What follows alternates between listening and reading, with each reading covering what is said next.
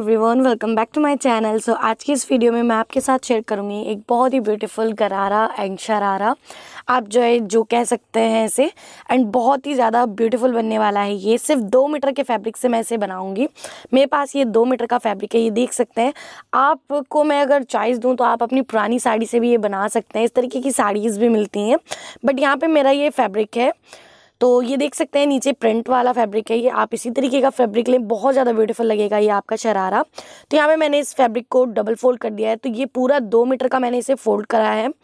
तो यहाँ पे मैं सबसे पहले नीचे का जो घेरा होता है, वो पूरे दो मीटर का इसे निकाल लूँगी। तो यहाँ पे मैंने तो जो टोटल लेंथ है, वो थर्टी एट इंच रखनी है। तो नीचे का, ऊपर का जो पार्ट होगा आपका वो हमारा सिक्सटीन इंच का होगा। तो सिक्सटीन इंच आपको नीचे की तरफ़ निकालते हुए ऊपर जितना भी आ रहा हो थर्टी एट इंच पे आपको मार्क कर देना है। तो सिक्सटीन इंच जो था वो मैंने नीचे की तरफ़ निकाल के ऊपर जितना भी आया हमारा थर्टी एट इंच पे उसे मैंने मार्किंग कर दिया है गाइस एंड इसे कट कर लूँगी। आपको अच्छे से समझ में आ ही गया होगा कि यहाँ पे मैंने Uh, सबसे पहले नीचे का जो बॉटम होता है जिसमें फ्रिल ऐड होती है वो वाला पार्ट निकाला है। तो 16 इंच ऊपर की तरफ़ निकालते हुए मैंने पूरा जो थर्टी एट इंच पे आ रहा था उस पर मार्किंग किया है एंड उसके बाद इसको मैंने दो लेयर में कट कर लिया है।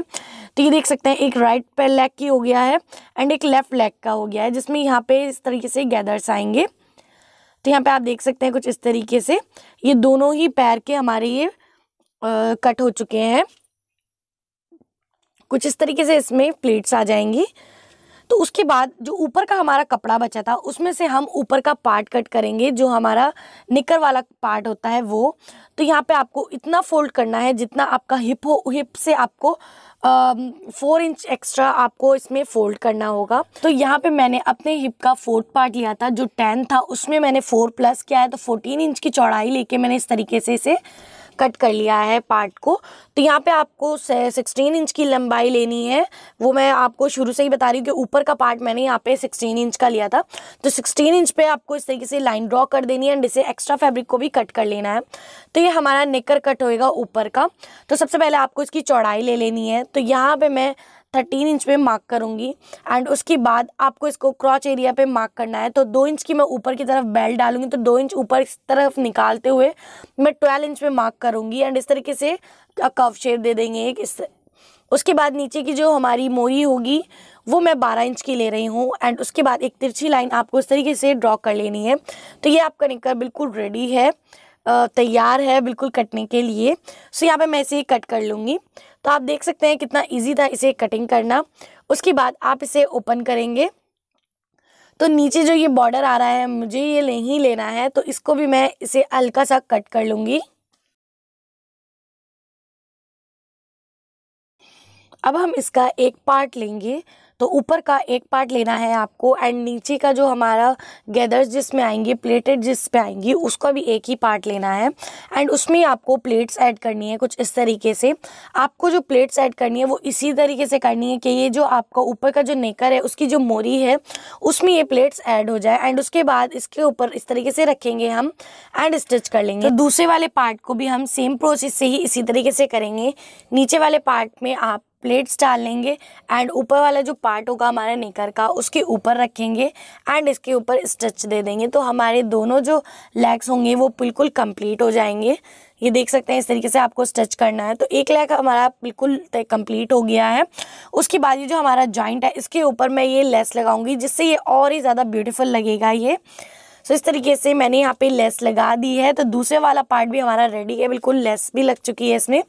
उसके बाद मैं इसे रॉन्ग साइड पे टर्न करूँगी एंड स्टिच कर दूँगी इसके क्रॉच एरिया को। तो यहाँ पे हमारा क्रॉच एरिया स्टिच हो चुका है। उसके बाद आपको इसे ओवरलैप करना है। ओवरलैप करने के बाद आपको इसके बीच की जो सिलाई है वो कर लेनी है। जो आपका जो ये बीच की सिलाई है, इसे आपको कर लेना है स्टिच अच्छे से। एंड नीचे का जो मोरी होगी हमारी, उसे भी आपको स्टिच कर लेना है, या तो आप डबल फोल्ड कर लें बट यहाँ पे ये रेड किनारी और भी ज़्यादा ब्यूटीफुल लग रही है। मैं इसे ऐसे ही रखूँगी। उसके बाद हम इसमें अस्तर का पार्ट लेंगे। तो यहाँ पे मैंने अस्तर को फोर फोल्ड करके रखा हुआ है। इसकी लेंथ में दो इंच ऊपर निकालते हुए पूरी लेंथ लूँगी थर्टी एट इंच क्योंकि ऊपर हमने दो इंच यूँ निकाला है कि हम इसमें नेफा ऐड करेंगे। तो हमने यहाँ पे बिल्कुल इसी तरीके से मार्किंग करी है। जिस तरीके से हमने अपना ये अभी गरारा स्टिच किया है, उसकी जितनी भी ऊपर की चौड़ाई आई थी, सबसे पहले मैंने वो ली, उसके बाद क्रॉच एरिया बारह इंच पे मार्क किया है। एंड जो हमारी इसकी मोरी थी, उसको भी मैंने बारह इंच पे ही मार्क किया है नीचे की मोरी को। एंड इसे कट कर लेना है। तो इस चीज़ का ध्यान रखिए, इसका जो ऊपर की जो चौड़ाई है, वो सेम होनी चाहिए आपके गरारे की एंड अस्तर की। तो यहाँ पे हमारा ये कट हो चुका है। उसके बाद में यहाँ पे इसके क्रॉच एरिया को स्टिच कर लूँगी। सो so, हमारा जो शरारा था वो भी कंप्लीट हो गया है। स्टिच बिल्कुल हो गया है। बीच की क्रॉच एरिया की स्टिच हो गया है। सिर्फ़ इसका नेफा फोल्ड होना रह गया है। तो यहाँ पे हमारा अस्तर का क्रॉच एरिया स्टिच हो चुका है। उसको हम ओवरलैप करेंगे। एंड बिल्कुल जैसे प्लाजो नॉर्मल स्टिच करते हैं बिल्कुल इसी तरीके से आपको इसे स्टिच करना है। बीच की आपको स्टिच दे देनी है। नीचे से आपको इसे डबल फोल्ड कर लेना है। तो यहाँ पे हमारा पूरा प्लाजो एकदम स्टिच हो गया है। उसके बाद हम अपना शरारा लेंगे एंड शरारा के अंदर इसे पास करेंगे। तो शरारे में एक एक लैग आपको इस तरीके से डालना है। जिस तरीके से मैं वीडियो में दिखा रही हूँ, इस तरीके से आपको शरारे के अंदर इसे ऐड करना है। दूसरे लेग को भी मैं इसी तरीके से ऐड करूँगी। तो ये जो ऊपर का हिस्सा होगा आपको, इसको अपने शरारे को स्टिच कर लेना है। आपस में इसे अच्छे से जोड़ लेना है। सो गाइज़ यहाँ पे आप देख सकते हैं, इसे मैं अच्छे से स्टिच कर लूँगी। सिर्फ़ ऊपर की तरफ़ आपको एक स्टिच देनी है, दोनों दोनों ही फैब्रिक को पकड़कर स्टिच दे देनी है। तो यहाँ पे मैंने इसे स्टिच कर लिया है, ये देख सकते हैं कितना ब्यूटीफुल तरीके से एंड कितने ही अच्छे तरीके से ये असर लग गया है इस गरारे के अंदर। एंड बहुत ही ज़्यादा कम कपड़े में। तो ऊपर की तरफ़ मैं इसमें नेफा ऐड करूँगी। तो दो, चार इंच चौड़ा मैंने ये पट्टी ली है। इसको मैंने साइडों से स्टिच कर लिया था। गोल पट्टी एकदम बना ली थी। उसके बाद मैं इसको इस तरीके से इसके ऊपर चढ़ाऊँगी अपने शरारे के ऊपर। एंड इसे स्टिच कर लूँगी। चारों तरफ़ से, इसे भी आपको अच्छे से स्टिच कर लेना है। चारों तरफ़ से स्टिच कर लेना है। सो गाइज़ यहाँ पे मैंने इसे चारों तरफ़ से स्टिच कर लिया है। इसे ओपन करेंगे हम एंड उसके बाद इसे आप फोल्ड करना है। नेफे की तरह आपको इसे क्वार्टर इंच कपड़ा अंदर देते हुए एंड जो आपकी सिलाई थी उसे भी आप अंदर कर दें एंड सिलाई के ऊपर ही इसे स्टिच कर लें। तो आपका नेफा बहुत ही ईजी तरीके से स्टिच हो जाएगा एंड बहुत ही ज़्यादा सफ़ाई आएगी इस नेफे में। सो यहाँ पे आप देख सकते हैं, नेफा हमारा बन चुका है। उसके बाद मैंने यहाँ पे दो इंच का स्टिच रहने दिया था, क्योंकि हमारी इलास्टिक पास होगी उसमें।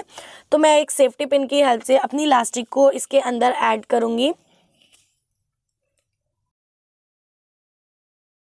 सो so, यहाँ पे मैंने लास्टिक को पास कर लिया है। उसके बाद हम लास्टिक को स्टिच करेंगे। एंड अंदर की तरफ़ करके जितना भी आपने स्टिच करने से छोड़ दिया था उसे भी आप स्टिच कर लेंगे। एंड लास्टिक के ऊपर भी एक स्टिच लगा लें आप। तो यहाँ पे आप देख सकते हैं हमारा शरारा बिल्कुल रेडी है बनने के बाद। कितना ब्यूटीफुल लग रहा है। आई होप आपको मेरा वीडियो अच्छा लगा होगा। अच्छा लगा तो प्लीज़ लाइक शेयर कमेंट ज़रूर करिएगा।